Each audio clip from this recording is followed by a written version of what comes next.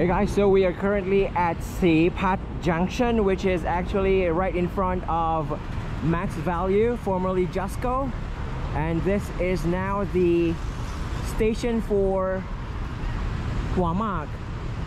So they have just opened today, the 22nd of August.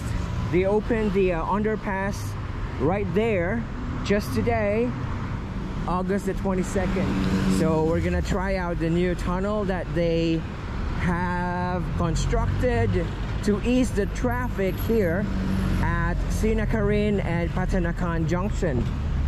Alrighty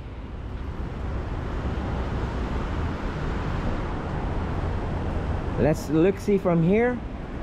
That is now the tunnel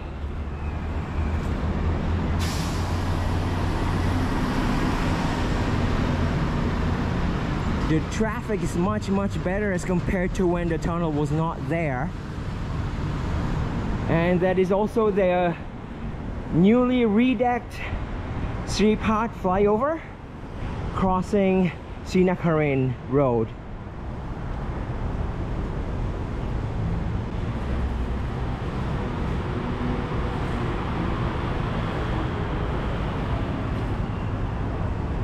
So much better traffic flow with the new tunnel, the underpass.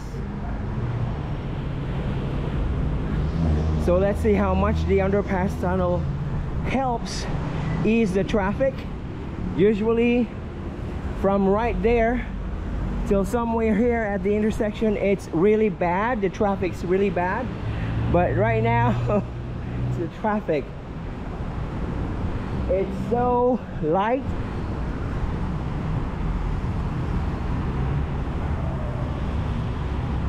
so this side here is heading towards Bang Bangnatrat this lane here. And the opposite one uh, heads to Lamsali Bangkapi district.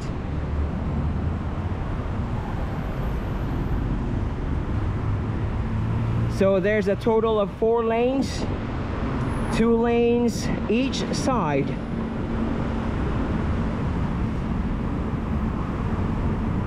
oh man.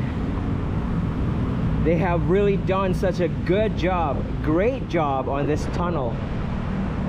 Really as in before the traffic here was horrendous